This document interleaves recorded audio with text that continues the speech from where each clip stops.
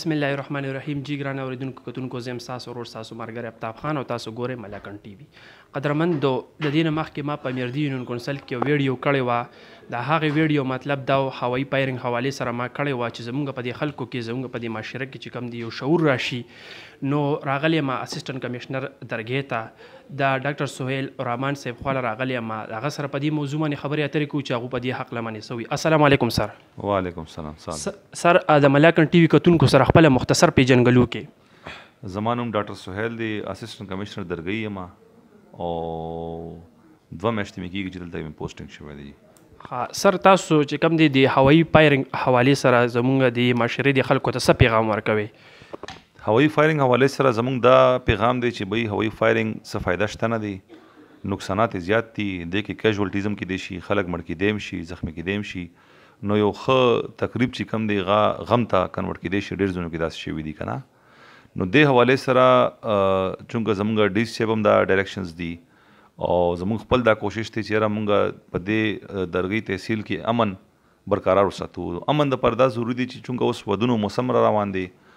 او مختلف قسمه فنکشنز وي نو هغه فنکشن کې چې څوک لټ سپوز چا والا واده وي څه بل څه فنکشن وي ښه روټۍ دې ورکړي خلکو له دې عزت ورکړي نو دې سره به چې کوم دی د دې عزت به زیاتیږي بقایا چې کوم کس ایرل فایرنګ کوي یا دا نور ګړبړ کوي نو هغه چې کوم دی واده الټا خوند خرابوي. فایر کریکرز دی هغه باندی که غږ کوی نو هغه به خپل چی کوم لوکل چوکی دی یا پولیس سټیشن دی هغه ته به اول انفارم کوی هغوی ته به وایی چه دا تاسو به مطلب به دی لحاظ سره چی څه کوی نو هغه به انفارم کوی نور ایریل فایرنګ چی کوم دی دی سره مختلف قسمه واقعات هم کیږی ریسنټلی هم پکی څه دوه کیژولټیز شوی دی نو دی لحاظ سره زمونږ دا سټریک آرډرز دی او ډایریکشنز دی او ما خپل سوره چی زمونږ فیلډ فارمیشن دی هغه ته مونږ آلریډی ویلی دی چی که چا ایریل فایرنګ وکړو نو يو خو هغه کس به مونږ نيسو او دې نه علاوه چې کوم کس ولا واده وي نو هغه دلهه چې کوم دي هغه ولا پلار هغه باندې به هم ايکارډنګلي ايف ايي آر کټ کيږي نو دې لحاظ څخه تاسو ټول ته دا ريکويسټ دې چې خپل لکه د ګاونډيانو هم خيال وساتي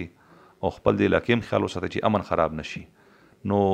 زه تاسو ته دا وایم چې یاره مطلب تاسو څخه خوا کې یو مریض هم کیدای شي یو خوا کې کور کې بل سم کیدای شي